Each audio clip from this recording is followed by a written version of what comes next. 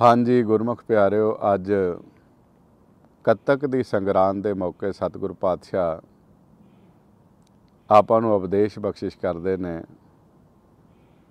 ਕਿ ਅਸੀਂ ਆਪਣੇ ਆਪ ਨੂੰ ਪ੍ਰਬੋਧਣਾ ਆ, ਆਪਣੇ ਆਪ ਨੂੰ ਖੋਜਣਾ ਆ।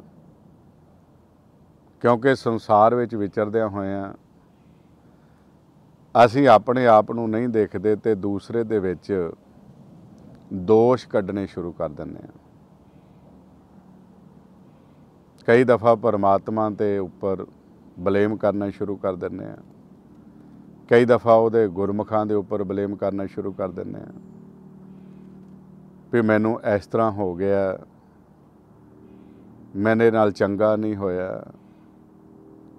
ਪਰ ਪਾਤਸ਼ਾਹ ਇੱਥੇ ਕੱਤਕ ਮਹੀਨੇ ਦੇ ਰਾਹੀਂ ਸਾਨੂੰ ਸੰਦੇਸ਼ ਦਿੰਦੇ ਨੇ, ਕੱਤਕ ਕਰਮ ਕਮਾਵਣੇ, ਦੋਸ਼ ਨ ਕਾਹੂ ਜੋਗ ਪਰਮੇਸ਼ਰ ਤੇ ਭੁੱਲਿਆ ਵਿਆਪਣ ਸਭੇ ਰੋਗ। ਪੀਏ ਜੋ ਵੀ ਮਨ ਨੂੰ ਅਸ਼ਾਂਤ ਕਰਨ ਦੇ ਇਹ ਕਾਰਨ ਬਣ ਰਹੇ ਆ, ਇਹਦੇ ਪਿੱਛੇ ਕਿਸੇ ਹੋਰ ਦਾ ਹੱਥ ਨਹੀਂ, ਤੂੰ ਹੀ ਪਰਮੇਸ਼ਰ ਦੇ ਨਾਲੋਂ ਨਾਤਾ ਤੋੜ ਲਿਆ ਆ। ਪਰਮੇਸ਼ਰ ਨਾਲੋਂ ਭੁੱਲ ਕੇ ਮਨ ਜਿਹੜਾ ਵਾ, ਉਹ ਸਥਿਰ ਨਹੀਂ ਰਿਹਾ। ਮਨ ਦੇ ਸਥਿਰ ਰਹਿਣ ਦੇ ਨਾ ਕਾਰਨ ਕਰਕੇ ਹੀ ਅੰਦਰ ਵਿਚਾਰ ਵਧੇ ਆ। ਵਿਚਾਰਾਂ ਦੇ ਵਧਨ ਘਟਣ ਦੇ ਨਾਲ ਪੌਣ ਪਾਣੀ ਸੰਤੁਲਨ ਦਾ ਸੰਤੁਲਨ ਵਿਗੜਿਆ ਆ, ਜਿਸ ਕਰਕੇ ਤੱਤਾਂ ਦੇ ਵਿੱਚ ਬਾਦ ਘਾਟ ਆਉਂਦੀ ਹੈ ਤੇ ਜਿਸ ਕਰਕੇ ਮਨ ਦੇ ਅੰਦਰ ਕਈ ਤਰ੍ਹਾਂ ਦੇ ਰੋਗ ਫੈਲਦੇ ਆ, ਜਿਨ੍ਹਾਂ ਦੇ ਵਿੱਚ ਸੈਂਸੇ ਆ ਜਿਨ੍ਹਾਂ ਦੇ ਵਿੱਚ ਚਿੰਤਾਵਾਂ ਵਾ, ਜਿਨ੍ਹਾਂ ਦੇ ਵਿੱਚ ਮਨ ਦੇ ਅੰਦਰ ਮਨ ਨੂੰ ਦੁੱਖ ਕਰਨ ਵਾਲੇ ਕਈ ਤਰ੍ਹਾਂ ਦੇ ਇਹ ਰੋਗ ਮੌਜੂਦ ਹੋ ਜਾਂਦੇ ਆ। ਤੇ ਹੌਲੀ ਹੌਲੀ ਪਾਤਸ਼ਾਹ ਫਰਮਾਉਂਦੇ ਆ, ਉਹ ਤਨ ਵਿੱਚ ਫੈਲ ਜਾਂਦੇ ਆ। ਇਹੀ ਰੋਗ ਫਿਰ ਮਨ ਦੇ ਅਤੇ ਤਨ ਦੇ ਜਨਮ ਮਰਨ ਦਾ ਕਾਰਨ ਬਣ ਜਾਂਦੇ ਆ। ਬੇਮੁਖ ਹੋਏ RAM ਤੇ ਲੱਗਣ ਜਨਮ ਵਿਜੋਗ ਇਸ ਵਾਸਤੇ ਮਾਰੇ ਕਹਿੰਦੇ, ਆਪਣੇ ਆਪ ਦਾ ਸੁਧਾਰ ਕਰੋ। ਪਰਮੇਸ਼ਰ ਦੇ ਨਾਲ ਜੁੜੋ।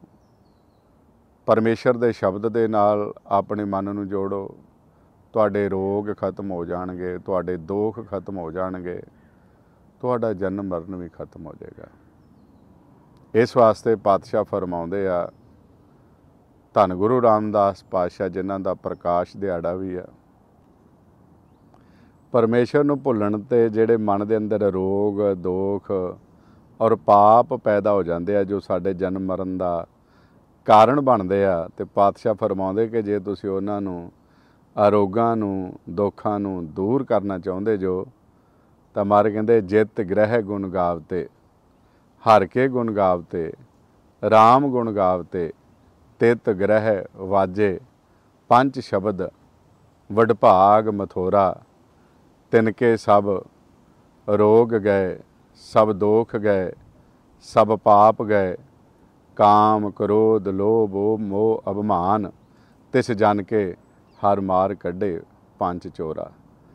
ਤੇ ਜਦੋਂ ਸਿਮਰਨ ਕਰਦੇ, ਅੰਦਰ ਸ਼ਬਦ ਪ੍ਰਗਟ ਹੋ ਜਾਂਦੇ ਨੇ, ਸ਼ਬਦ ਨਾਲ ਜਦੋਂ ਮਨ ਜੁੜਦਾ ਆ, ਸੋ ਇਹ ਪਾਪ, ਇਹ ਰੋਗ ਨਸ ਜਾਂਦੇ ਆ, ਖਤਮ ਹੋ ਜਾਂਦੇ ਆ। ਤੇ ਇਸ ਵਾਸਤੇ ਫਿਰ ਪਾਤਸ਼ਾਹ ਆਪਾਂ ਨੂੰ ਫਰਮਾਉਂਦੇ ਬਾਣੀ ਦੇ ਅੰਦਰ ਕਿ ਆਪਾਂ ਸੰਸਾਰ ਵਿੱਚ ਵਿਚਰਦੇ ਆ ਜੇ ਉਹਨੂੰ ਚੇਤਾ ਰੱਖਾਂਗੇ, ਉਹਦੇ ਨਾਲ ਜੁੜ ਕੇ ਰਵਾਂਗੇ, ਤੇ ਦੁੱਖ, ਪਾਪ, ਰੋਗਾਂ ਤੋਂ ਆਪਾਂ ਮੁਕਤ ਹੋ ਸਕਦੇ ਹਾਂ। ਇਸ ਵਾਸਤੇ ਮਹਾਰਾਜ ਫਰਮਾਉਂਦੇ ਨੇ, ਆਨੰਦ ਸੁਣੋ, ਵਡਭਾਗੀ ਹੋ, ਸਗਲ ਮਨੋਰਥ ਪੂਰੇ, ਪਾਰ ਬ੍ਰਹਮ ਪ੍ਰਭ ਪਾਇਆ, ਉਤਰੇ ਸਗਲ ਵਸੂਰੇ, ਦੁੱਖ, ਰੋਗ, ਸੰਤਾਪ ਉਤਰੇ। ਸੁਣੀ ਸੱਚੀ ਬਾਣੀ।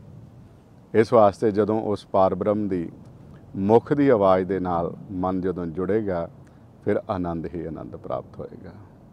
ਵਾਹਿਗੁਰੂ ਜੀ ਕਾ ਖਾਲਸਾ, ਵਾਹਿਗੁਰੂ ਜੀ ਕੀ ਫਤਿਹ।